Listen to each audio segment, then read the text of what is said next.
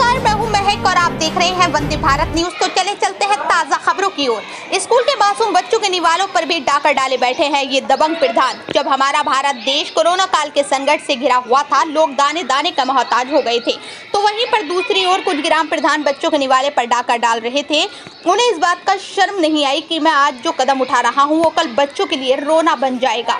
ऐसा ही मामला जनपद अयोध्या के शिक्षा क्षेत्र मिल्कीपुर अंतर्गत ग्राम पंचायत देवन पारक का सामने आया है, जहाँ पर पूर्व माध्यमिक विद्यालय और उच्च माध्यमिक विद्यालय का मामला तब प्रकाश में आया जब पत्रकार के द्वारा औचक निरीक्षण किया गया। आज सुबह नौ बजे स्कूल परिसर के अंदर जब प्रवेश किया गया, तब देखा गया कि प्रधान अध्यापक समेत सभी अध्यापक बच्चों को पढ़ाते मिले। बच्चे खुश थे। विद्यालय में कुल पंजीयन संख्या प्राथमिक स्तर पर 124 और जूनियर स्तर पर 134 है। जिसमें उपस्थिति देखी जाए तो उच्च प्राथमिक में 50 और प्राथमिक विद्यालय में इकसठ बच्चे उपस्थित मिले। लेकिन दुख उस समय हुआ जब बच्चों ने बताया कि हमें पिछले दो माह से सरकार के द्वारा दिया जा रहा फल और दूध नहीं मिल रहा है। वहीं पर हम एमडीएम की बात करें तो ग्राम पंचायत प्रधान राजेंद्र प्रसाद तिवारी और ग्राम सभा के कोटेदार के द्वारा एमडीएम के नाम पर लीपापोती करते हुए दिखाई दे रहे हैं। मास्टर साहब स्कूल का नाम क्या है आपके? प्राथमिक विद्यालय Devanpara composite one two eight. आपका शुभ नाम? राजेंद्र कुमार मिश्र। राजेंद्र कुमार मिश्र। मास्टर साहब एक बात बताएँ हम अभी स्कूल का निरीक्षण किए हैं और औचक जानकारी लिए बच्चों से। जी सर। तो पढ़ाई लिखाई की समस्या तो नहीं है बच्चे सारे बता रहे हैं कि पढ़ाई लिखाई कोई समस्या नहीं है लेकिन दो माह से एमडीएम बाधित चल रहा है। खाने पीने की उनकी व्यवस्थाएँ पूरी तरह से ध्वस्त हो चुकी हैं। ऐसी क्या ये ये क्या समस्या है? एमडीएम तो बनवाया जा रहा है लेकिन विगत अप्रैल महीने से फल नहीं बटा है। अच्छा। और मई के महीने से लगातार अभी तक जो है दूध नहीं बटा है। अच्छा। जिसको प्रधान जी को बार बार जो है रिक्वेस्ट भी किया गया कि ये बच्चों का हक है इसको दिया जाए। लेकिन पता नहीं क्यों वो कहते हैं हम बांट नहीं पाएँगे। ग्राम पंचायत प्रधान का नाम क्या है? प्रधान जी का नाम श्री राजेंद्र प्रसाद तिवारी जी हैं ग्राम प्रधान देवनपारा। जी जी। इनके द्वारा मतलब कि जो दूध फल वगैरह है इन सब का जो है कोई उप- उपलब्धि नहीं की जा रही है विद्यालय को? जी पीछे अप्रैल महीने से फल नहीं बट रहा है हम्म, हम्म, और मई महीने से दूध नहीं बट रहा है। अच्छा। अच्छा क्या राशन इनके द्वारा बराबर मिलता आ रहा है? राशन ग्राम कोटेदार महोदय कहते हैं कि हमने जो है प्रधान जी को रिसीव करा दिया गया है। हम्म, जो हमने व्यय किया है जो बच्चे हमारे खाए हुए हैं हम्म, उस प्राप्त में से अगर मैं उसको घटा देता हूँ तो लगभग इक्कीस कुंतल बीस कुंतल तिहत्तर इकहत्तर किलो करीब गेहूँ अभी इनके पास चावल मिला करके है। जो बच्चों में जो है कोविड काल का बटना है। अभी कोविड काल का कार्ड का जो जो है राशन था वो वितरण नहीं किया गया? नहीं अभी वितरण नहीं हुआ है। अभी वितरण नहीं हुआ है।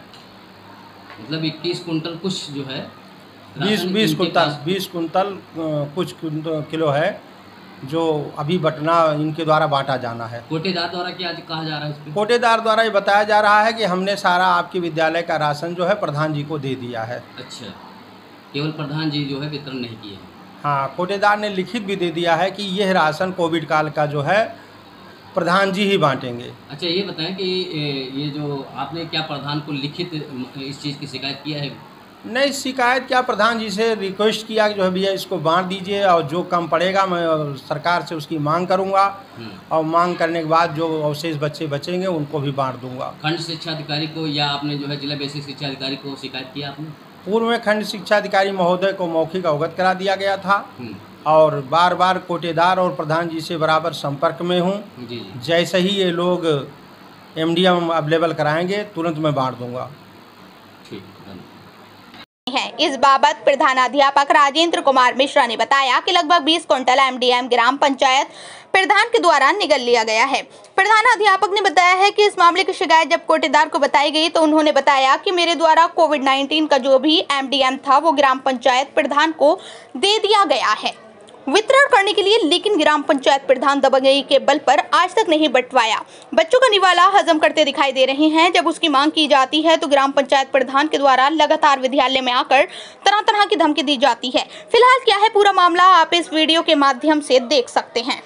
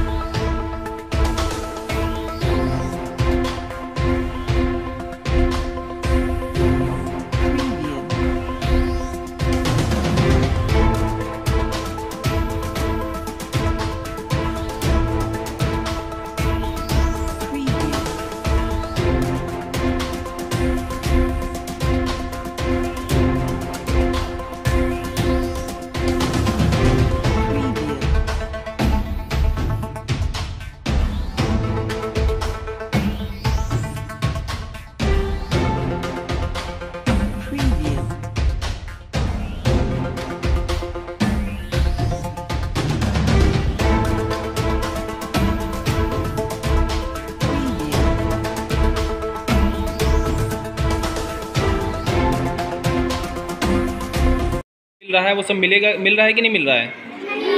कुछ नहीं मिल रहा है? अच्छा बेटा, कब से नहीं मिल रहा है आप लोगों को ये? दो महीने से। मतलब दो महीने से नहीं मिल रहा है। तो आपने कभी अपने टीचर से इसकी शिकायत की कि नहीं की? नहीं की। चलिए ठीक है।